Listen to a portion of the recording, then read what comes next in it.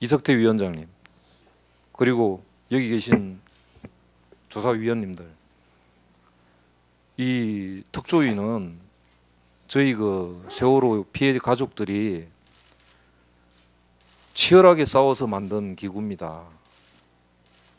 목숨을 걸었다고 해도 될 정도로 그래서 이 특조위가 우리 가족들이 원하는 올바른 조사의 마지막 보루이기도 하고요.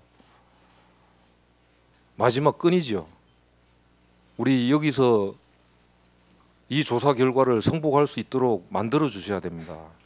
그 결과의 규모는 모르지만은 여기 계신 분들이 어떻게 하느냐에 따라서 우리가 성복할 수도 있고 안 할 수도 있고 그렇게 되는 것이겠죠.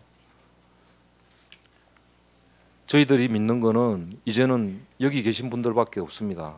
국가로부터 버림받은 사람들이라고 생각해도 과언이 아닐 정도니까